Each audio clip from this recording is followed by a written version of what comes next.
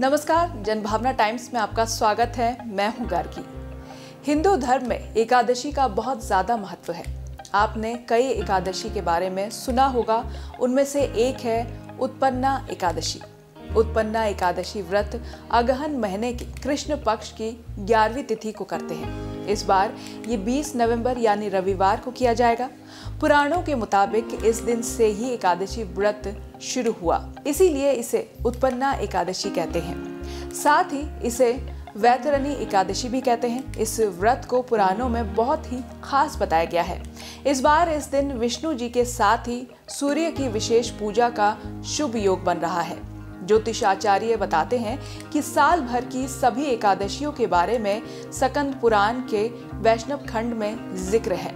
इस खंड के एकादशी महत्वमय नाम का एक अध्याय है। इसमें सभी एकादशियों की जानकारी दी गई है। अगहन के कृष्ण पक्ष की एकादशी के संबंध में मान्यता है कि इस तिथि पर एक देवी प्रकट हुई थी, जिन्हें एकादशी के नाम से जाना जाता है।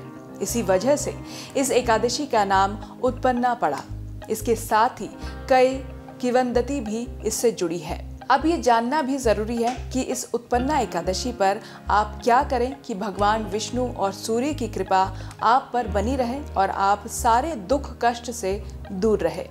उत्पन्ना एकादशी की स्थिति पर विष्णु जी के व्रत उपवास करें। सुबह उठकर पवित्र नदी सरोवर या घर पर ही स्नान से निर्वित होकर घर में पूजा स्थान पर बैठकर भगवान विष्णु की आराधना करें।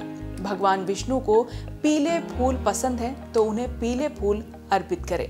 भगवान विष्णु की विधिवत पूजा करने के बाद आप जरूरतमंद लोगों को धन और अनाज का दान करें। किसी मंदिर में पूजन सामग्री चढ़ाएँ, गौशाला में घास और धन का दान करें।